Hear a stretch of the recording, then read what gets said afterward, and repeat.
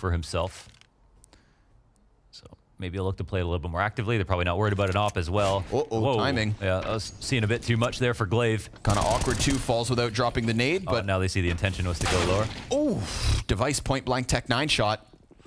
Zipik's going to hear this rotation back towards the A site. Plopski, oh, nice attempt with the, The jump. bomb's alone. Yep, and Zipix able to slide back around into lobby. Molotov on the feet of the two. Ooh, and he takes to the roof. Here comes blameF, sweeping away bodies from the mini side. Three easy pickups, and Astralis with eight map points. That's a lot of good players. That's a lot of good players in a row to have to deal with, and they got caught off. And I think, it, like, you know, you get the lower kill, and then NIP are like, oh, okay, now it's clear we're going lower, and then they come back upstairs.